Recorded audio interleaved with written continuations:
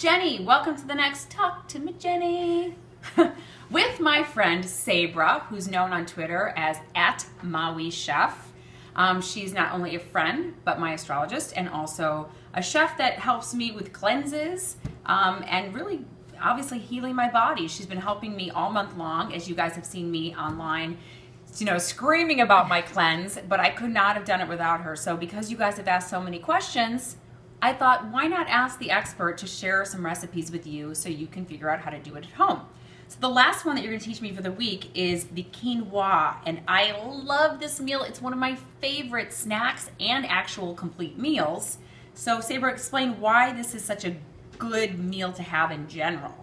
Quinoa is a super grain. It's like the perfect grain. It's high in protein. It's one. Of it's the most alkaline grain you can eat and it's absolutely delicious. Uh, my, I love all quinoas, but this tricolored, uh, the rainbow quinoa, is one of my favorites. So that's what I've used in this particular recipe. And you just follow the instructions. I use this whole bag, and you can use it with uh, low sodium chicken broth or vegetable broth, your choice, and just follow the directions on the package.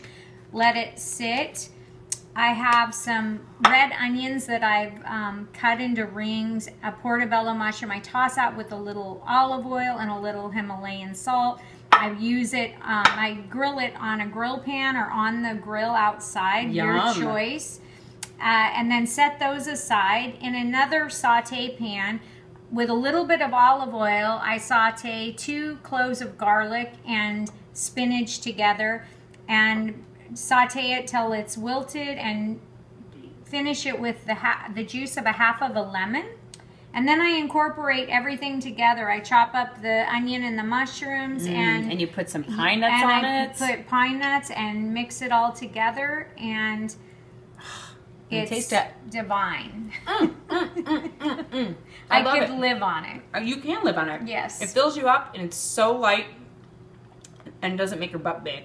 What could be better? That's right. Thank you so much, Sabra. Aw, We're going to have the recipe online, so look for it if you want to try it.